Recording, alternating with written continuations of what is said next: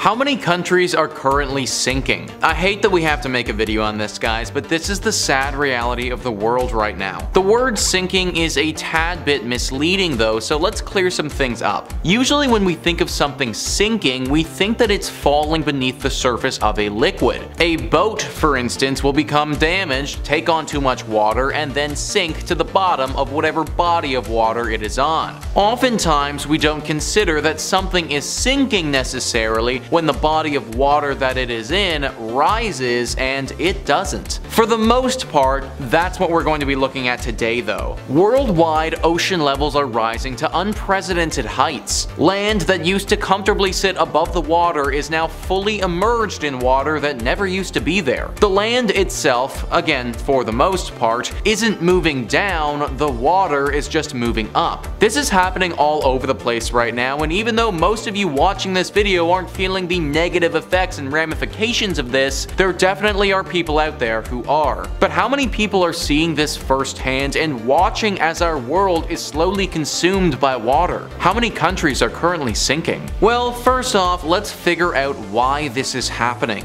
The short answer to that question is something that I'm sure all of you are very aware of at this point, climate change. Climate.gov says, global warming is causing global mean sea level to rise in two ways. First, glaciers and ice sheets worldwide are melting and adding water to the ocean. Second, the volume of the ocean is expanding as the water warms. A third, much smaller contributor to sea level rise is a decline in the amount of liquid water on land's aquifers, lakes and reservoirs, rivers, soil moisture moisture. This shift of liquid water from land to ocean is largely due to groundwater pumping. Now they go on to say that, as global temperatures continue to warm, additional sea level rise is inevitable. How much and by when depends mostly on the future rate of greenhouse gas emissions. But another source of uncertainty is whether big ice sheets in Antarctica and Greenland will melt in a steady, predictable way as the Earth gets warmer, or whether they will reach a tipping point and rapidly collapse. Every four or five years, NOAA leads an interagency task force that reviews the latest research on sea level rise and issues a report on likely and unlikely but plausible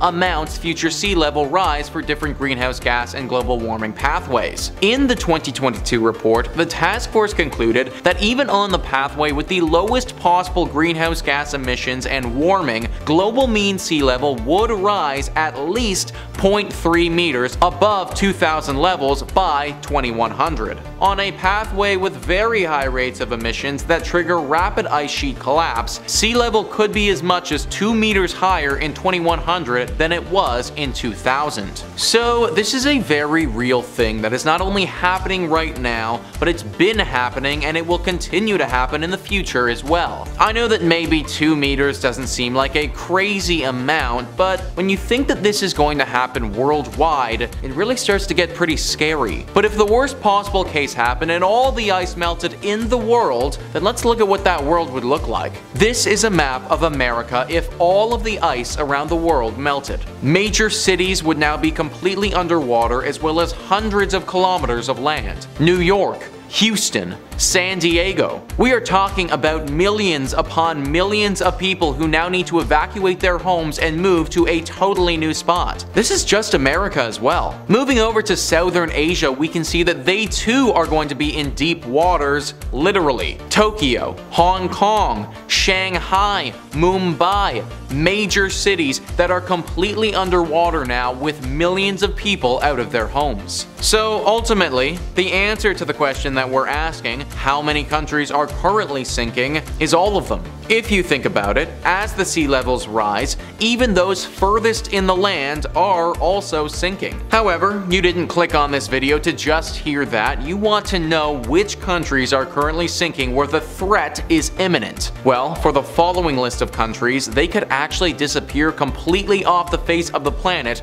by 2100. Kiribati, the Maldives, Vanuatu, Tuvalu, the Solomon Islands, Samoa, Nauru, the Fiji Islands, and the Marshall Islands. The nine islands that I just listed are all small island developing states. That's what they're classified as and they will be the first victims of this rising sea level. Most of the islands that I listed there are located in the Pacific Ocean and are very far from other major land masses, making it very difficult for the people there. The nation of Tuvalu has already slowly started their evacuation process, moving the citizens over to New Zealand. It is simply a matter of time for these countries.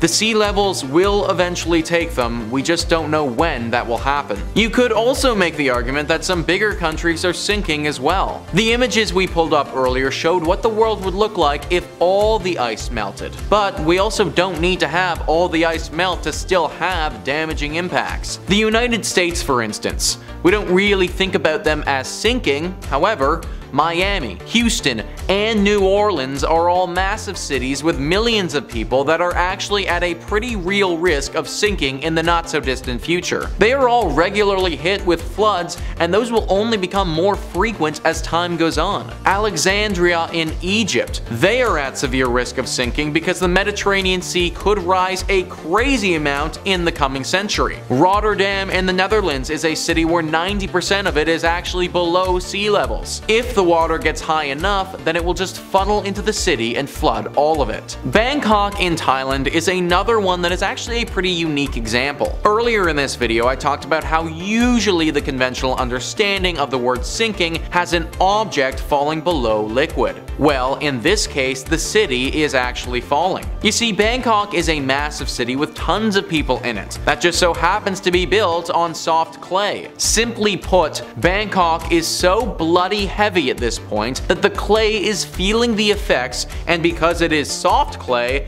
being pushed down. Considering the sea level is rising as well, Bangkok is on a horrible trajectory where it could be totally underwater by 2050. This is happening to a lot of the Southeastern Asian countries and the big cities that are there. The one that's on everyone's list right now that is in major trouble is Jakarta. Jakarta is a huge city in Indonesia that has over 10 million residents. In the last 10 years, parts of the city, specifically North Jakarta, have literally sunk two and a half meters. That is a ridiculously scary statistic. They are another one where by 2050, things could totally be submerged and millions could be uprooted from their homes. This is happening right now, guys, and even though they aren't fully submerged yet, don't think for a second they aren't feeling the effects. If you look up Jakarta sinking on Google Images, you will see countless pictures of residents walking through the city with water literally up to their waist. There are tons of countries that are being affected by this right now, and even though it might seem like a cop-out, the correct answer for this question truly is all of the countries are currently sinking.